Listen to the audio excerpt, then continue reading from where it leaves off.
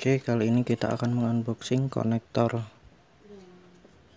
komponen AV untuk TV LED ini untuk TV LCD LED HD PS2 dan PS3 seperti ini penampilannya. Ini bukan untuk TV tabung tapi untuk TV LED ada 5 kabel kompatibel RGB red green blue warna kerapatan pixel dan resolusi 180